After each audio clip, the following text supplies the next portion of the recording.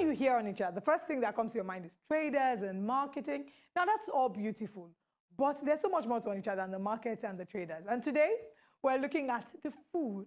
We're exploring a local delicacy because it's impossible for you to immerse yourself in the culture of a people without actually eating their food.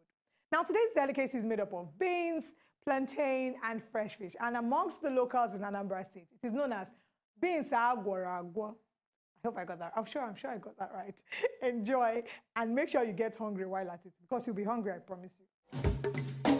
Onitsha is a city located on the eastern banks of the Niger River in Nigeria's Anambra State. A metropolitan Onitsha is known for its river ports and economic hub for commerce, industry, and education. It hosts the Onitsha main market, the largest market in Africa in terms of geographical size and volumes of goods. Onitsha in Anambra State is also known as the capital of beans, plantain, and fish. As we all know, with great living comes great food, and Onitsha is no different. Naturally, the people took advantage and the simple yet quintessential combination of roasted plantain and beans mixed with perfectly seasoned, mouth-watering peppery palm oil sauce and some vegetable.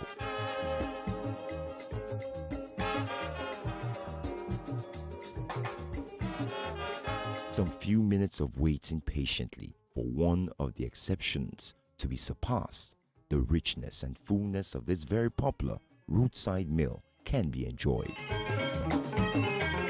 Local delicacies are highly nutritious because they are made from fresh food crops. Unlike your packed food preserved with chemical agents to maintain a long shelf life, local foods are prepared and eaten within a short space of time.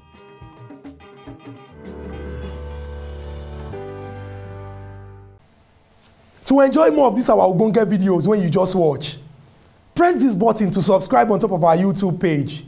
You go love am.